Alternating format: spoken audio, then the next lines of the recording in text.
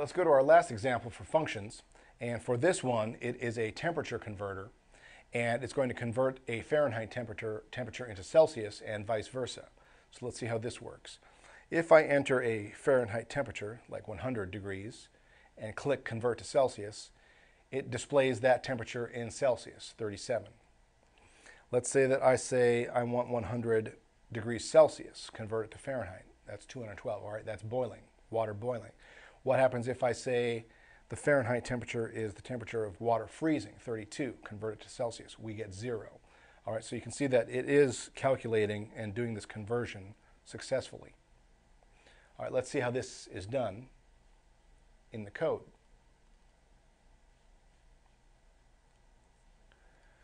All right, here, our first function is a retrieval function to get the numbers and to return the numbers to the form.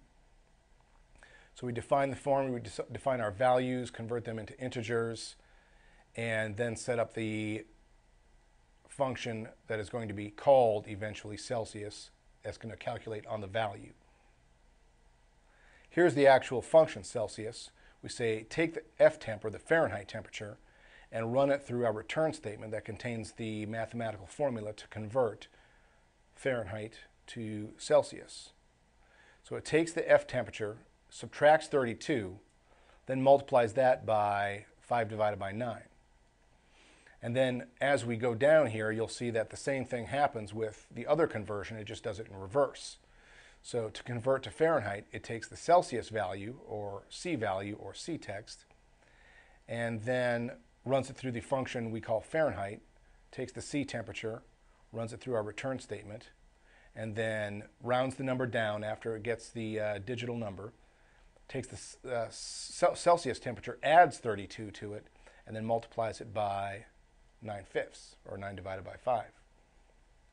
Then our form down at the bottom displays those numbers and then contains the buttons that contain the command convert to Fahrenheit, convert to Celsius, and then that on-click function triggers our functions convert to Fahrenheit or to convert to Celsius, which then trigger the Celsius and Fahrenheit return statements. So it's all sort of a series of dominoes. You know, as you click one thing, it runs each function in succession. Let's take one more look at this as it goes, and you can see the finished product. So let's say that we take the Fahrenheit temperature 100, convert it to Celsius, it goes to 37.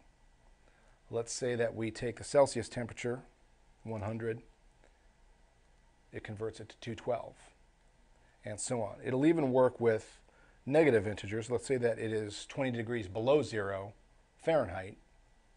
That'd be the equivalent of minus 29. Let's say that we have a negative temperature of minus 8 Celsius. That's the equivalent of 17 degrees above zero Fahrenheit. So as you go, you can see that it's calculating correctly. One interesting thing happens here.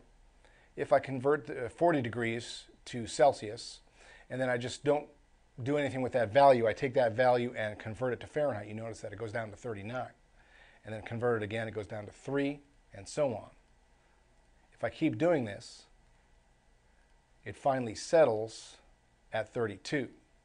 Now, why is this happening? Well, this is an anomaly within our, uh, within our math. Notice how we were using the math.floor function. So there is some fractions of numbers there that are get, getting sort of truncated or chopped off and not being included in the calculation. So even though for the most part and for the big important numbers, you know, if I say Fahrenheit temperature 212, we get the exact correct number on the money. But some of them, because of that math.floor function, it is slightly off. So it's not 100% accurate, but it is accurate enough. And uh, that is how certain functions work, especially with math.floor. All right, so that is our demonstration on functions, and thank you for watching educator.com.